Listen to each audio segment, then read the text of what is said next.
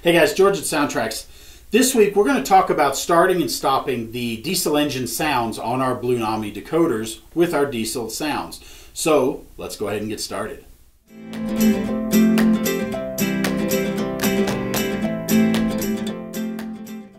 Now when you get your Blunami or your Tsunami 2, they default out of the package with the auto start enabled.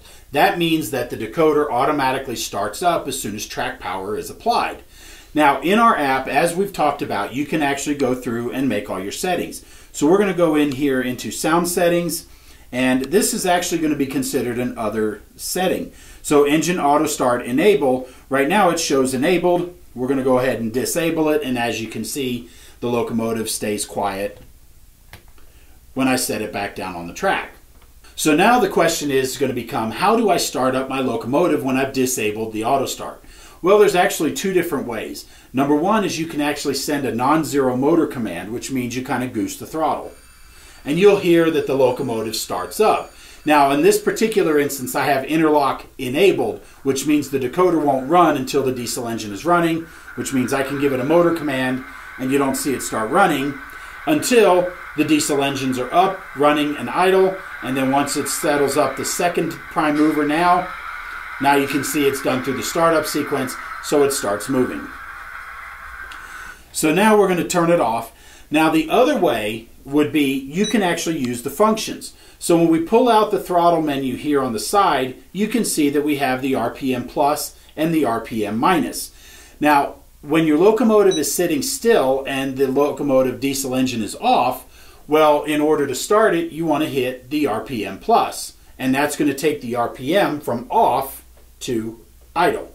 So we're going to go ahead and push this button and you can hear the locomotive start up.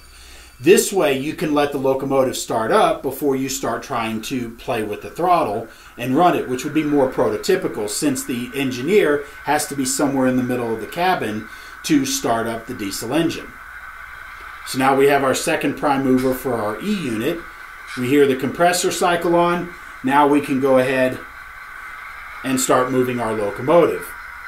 And then we can just turn off RPM plus, and what that's going to do is that's going to allow us to increase the diesel engine RPM just like we do with the Tsunami 2s.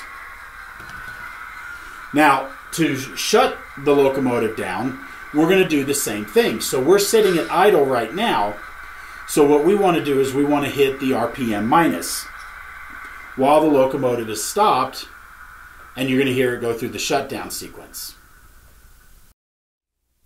So that's how you start and stop the diesel engine RPMs and the diesel engine sounds itself using the app. Now with our Tsunami 2 and if you were using the Blunami on your normal DCC system, the RPM plus and the RPM minus default to function 5 and 6 on the aftermarket decoders. Now Athearn on their decoders that are factory installed with the Tsunami 2 have those defaulted to functions 26 and 27 respectively. So be sure to check out the user's guide for more detailed information and also check out the information card that comes with your decoders.